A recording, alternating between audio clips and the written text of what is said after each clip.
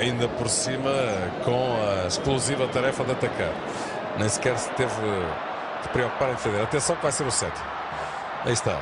David Villa, o remate e o gol. 7 a 0 para o Barça Fabregas a ganhar o ressalto, a oferecer a Villa. O uh, segundo de David Villa nesta partida, o sétimo do Barça. E mesmo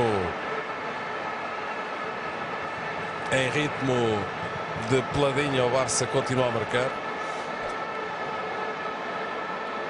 Reclamam os homens do Osasuna que Fabregas poderá ter colocado as mãos à bola naquele ressalto. Francamente não apercebi, mas uh,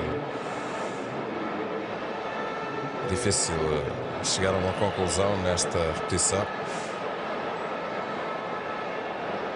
Fica a ideia de que a bola talvez lhe bata no peito. Francamente não vejo ali a intenção de dominar a bola com a mão ou tentar beneficiar desse desvio. Mas toca, mas toca. Aqui em grande plano não há dúvida que a imagem demonstra que de facto a jogada não deveria ter sido